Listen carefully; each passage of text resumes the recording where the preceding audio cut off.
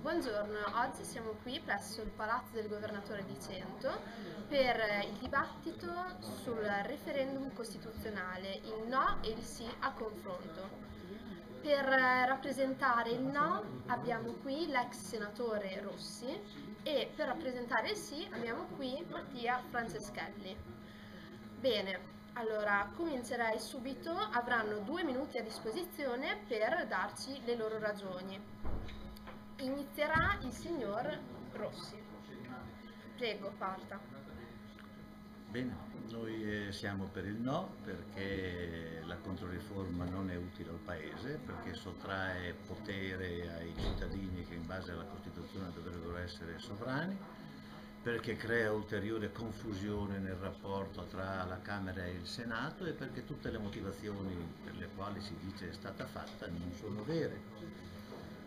Primo, non risolve il problema del bicameralismo. Era sufficiente se questo era l'obiettivo fare una sola Camera e si risparmiava anche soldi, visto che l'altro obiettivo è risparmiare soldi.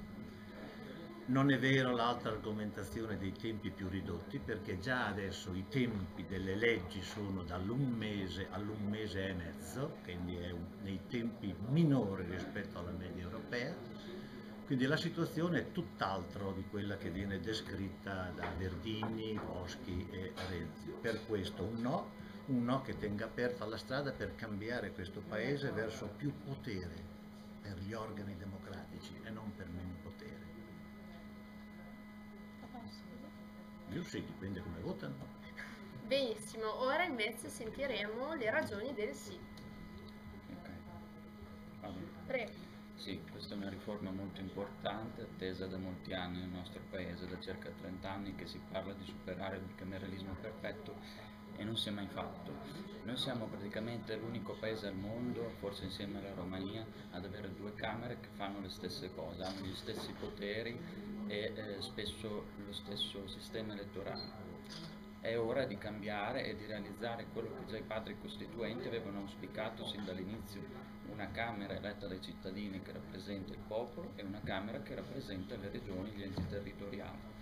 Questo era già l'auspicio dell'Assemblea Costituente, non è stato realizzato sin dall'inizio per il semplice motivo che le, le regioni a statuto ordinario sono state istituite vent'anni più tardi.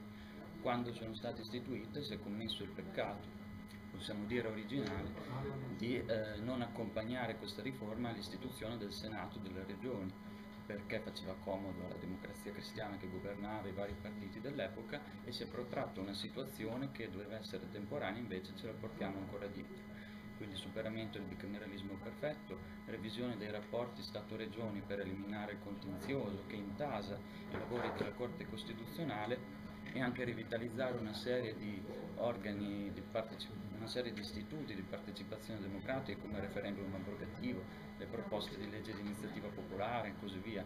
Rafforza i, i sistemi di garanzia e contrappesi, aumenta le maggioranze per eleggere il Presidente della Repubblica, eh, realizza la possibilità che la Corte Costituzionale esamini la legge elettorale prima che entri in vigore.